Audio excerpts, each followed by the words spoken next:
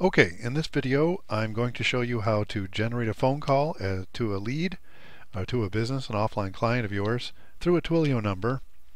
And what we're going to do is write a little application that will play a MP3 file welcoming the caller and telling them that, that, that you will be connected or whatever you want to say. So uh, this is more for like a custom thing rather than have a robot talk you can have your own voice just just fire up Audacity and make a quick MP3 file and uh, store that and make sure you upload it to a server or your website or whatever. Okay, so head over to twimlbin.com. The other thing we're going to do is not only play that, we're going to record that call and we're going to have an SMS uh, text message sent to you alerting you that you have a um, you have a call on one of your things. So not only will the recording be stored in your Twilio account, but you will get a text message saying that you have a call on whatever number that you have. So, okay, so create a TwiML Uh, as you know that this this code is already there by default. You don't have to put it in. First thing we need to do is tell it that we want a response. Okay, and the verb we're going to use this time rather than say is play. So capital, write the word play. And what do we want to play? We want to play an MP3. So tell it where it is. So yoursite.com slash your mp3 dot mp3. Let's say your message dot mp3. Okay, that's that's going to play. It's going to say, you know, thanks for calling, and we will connect you with whatever business it is uh, or whatever service it is. So be creative. You might want to make it fairly short. Next thing we want to do, as we did in the other examples, is dial. And what we want to do, whoops, we want to tell it to record. So we're going to, by default, it doesn't record. So you have to do that. And Twilio does not charge for recording. Somebody asked me that if they charge to record. They don't. So the only thing that they do charge for is transcription for a voicemail or something like that. We'll get into that later. Okay, so record equals true. And um, what we want to do then is tell it where to call. So this is the business number of the of your client or whatever. Okay, it's going to call. We need to close that out.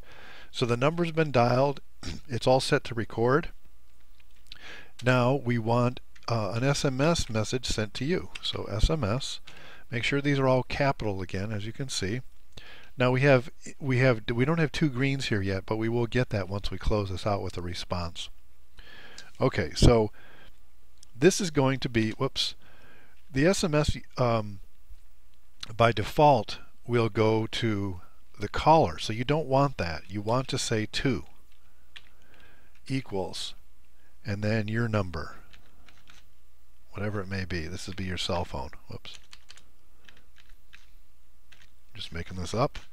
Okay so that's your cell phone. Make sure you put 2 equals and whatever number it is.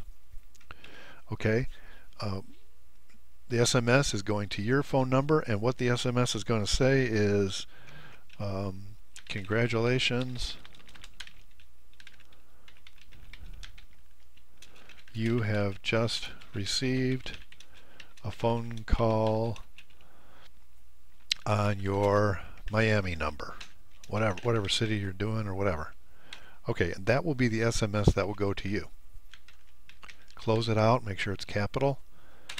Okay so what we've done here is that the caller calls in. Your message is played for the caller. Um, the business owner is dialed.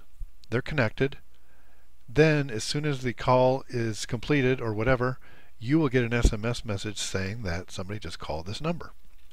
The only thing we need to do now is close the response out. And we should get two greens. There we go.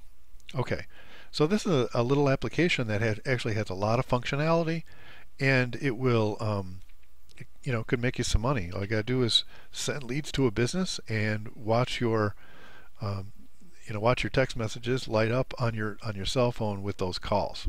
Okay so um, next thing we do if you if you didn't see the other videos is how to get this in there. Go to your Twilio account click on numbers choose a number that you want to use with this application and paste it right there.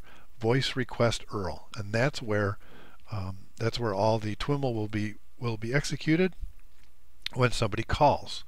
Um, and that's all you that's all there is to it. So there you go. There's your little application. And um, be sure that you have a full path to the MP3 and, and, upload it. And Audacity is a great little program to do that with. So hope that helped you out and you can go out and make some money with this